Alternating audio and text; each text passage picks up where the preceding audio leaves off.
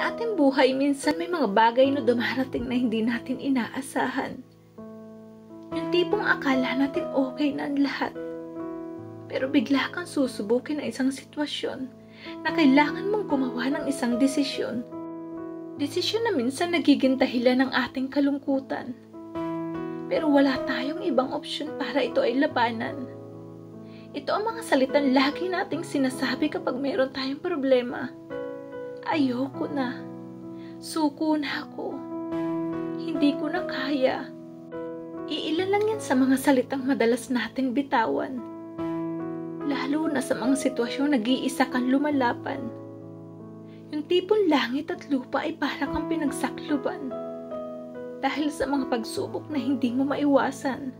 Sa mga sunod-sunod na pagsubok na nararanasan mo hindi mo maiwasan sambitin ang salitang mas mabuti pang mawala sa mundo. Pagod na pagod na ako. Hanggang kailan ba matatapos ang lahat ng ito? May mga pagkakataon na gusto mo nang tapusin ang lahat. Ito lang ang tanging paraan para matapos ng iyong paghihirap. Sa aking pag-iisa, hindi ko mapigilan itanong sa kanya kung bakit ako pa. Bakit ganitong buhay ang meron ako? Bakit nararanasan ko ang lahat ng mga ito?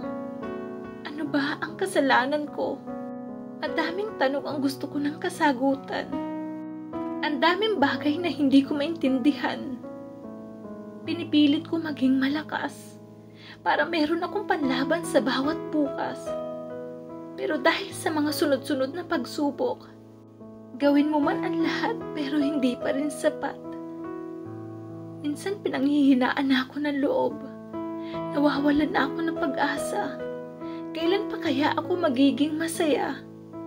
Kailan pa kaya ako lulubayan ng problema?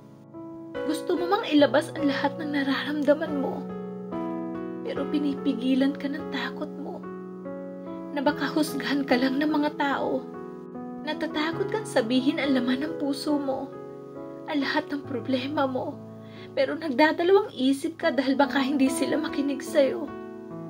Kaya mas pinili mo na lang manahimik at lumaban mag-isa. Hindi ka umasa at naghintay ng tulong galing sa iba. Kaya naniniwala ako sa'yo.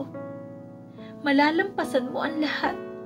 Sobrang layo na nang narating mo para sumuko ka pa.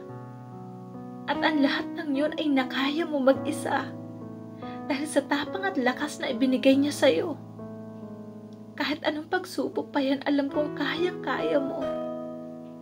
Maniwala ka lang sa Kanya. Lagi siyang nandyan at hinding-hindi ka iiwan. Kaya laban lang. Pagsubok lang yan.